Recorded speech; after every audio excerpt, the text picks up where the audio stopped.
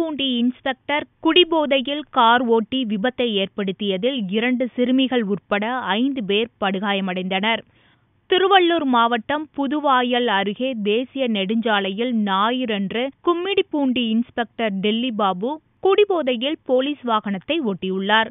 கட்டுப்பாடு இல்லாமல் கார் ஓட்டிய டில்லி பாபு முன்னால் சென்று கொண்டிருந்த வாகனங்கள் மீது மோதினார். இதில் இருசக்கர வாகனத்தில் சென்ற இரண்டு சிறுமிகள் உட்பட ஐந்து பேர் படுகாயமடைந்தனர்.